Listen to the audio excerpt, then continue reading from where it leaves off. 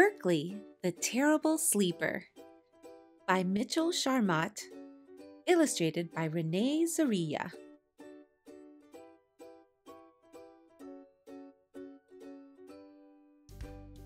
Once upon a time, there were three bears. No, not those three bears.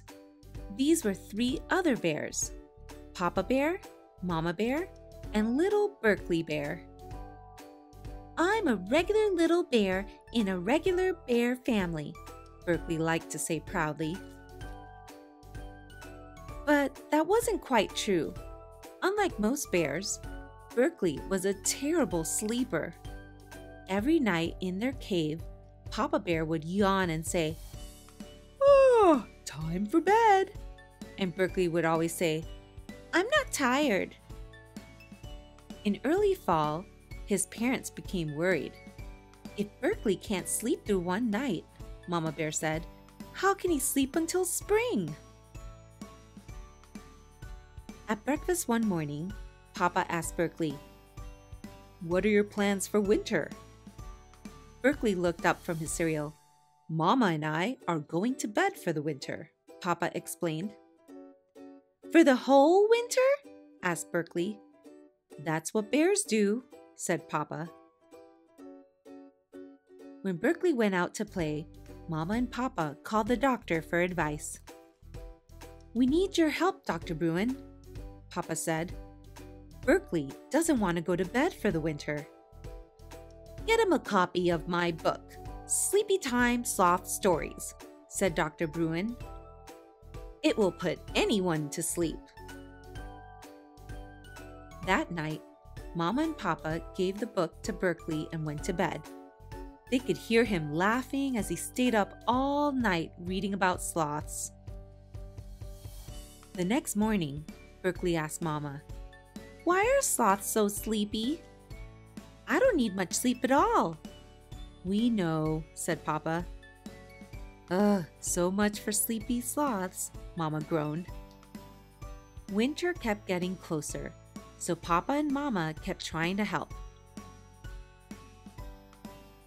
Let's take him to a concert, said Mama.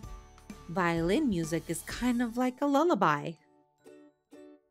The music was like a lullaby for Papa and Mama Bear. They fell asleep. Berkley did not.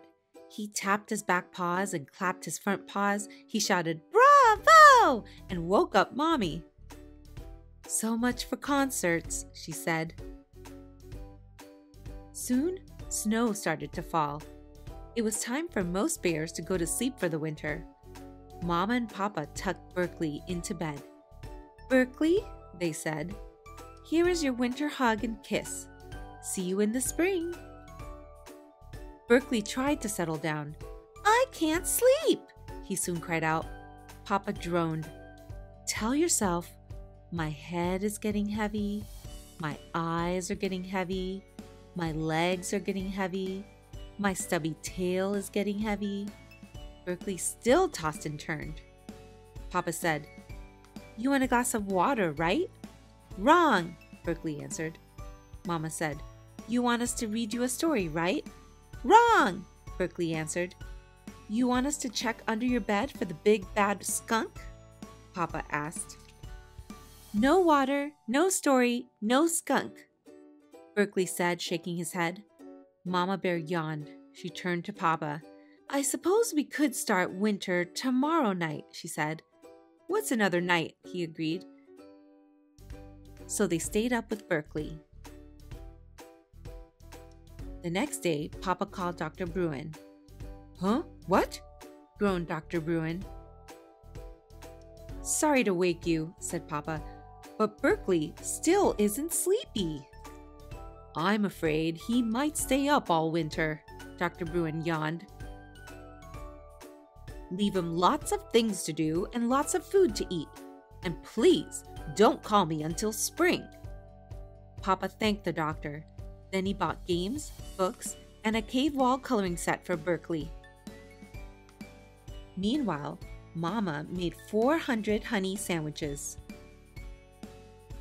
They carried everything to Berkley's room and kissed him on the forehead. Oh, Have a happy winter, yawned Papa.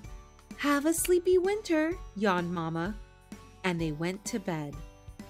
Berkley wasn't sleepy, so he played some games. Then he painted on the walls with his coloring set, but he still wasn't sleepy. Berkley sighed. As long as I'm up, maybe I can learn something. He picked up a book about dancing and began to read. In December, he learned to dance on all four paws. In January, he learned to dance on his two back paws. In February, he learned to dance on his two front paws. All the while, Papa and Mama slept on. Finally, the snow melted and spring arrived. Papa and Mama Bear sat up in bed and stretched. When they got up, they found Berkley asleep. What a good little bear, Mama whispered. He fell asleep in his own way. Ten days later, Berkley woke up. What do you want to do today? asked Papa. I want to show you what I learned over the winter, said Berkley. Berkeley danced on all four paws. He danced on two back paws. And he danced on two front paws. Guess what? Berkley said. After I learned to dance, my stubby tail got tired. My legs got tired. And then I got tired and fell asleep. Papa looked at Mama. Mama looked at Papa. Did he just need to dance all along? Mama asked. They both looked at Berkley. The next day, they took Berkley to his first dance class. Soon, he was a star. That's our little bear, Mama said to Papa. Turns out, Berkley was born to perform, Papa said proudly. And to sleep, Mama added. As long as he danced, Berkley never had trouble sleeping again. That was Berkley the Terrible Sleeper by Mitchell Sharmat, illustrated by Renee Kurilla.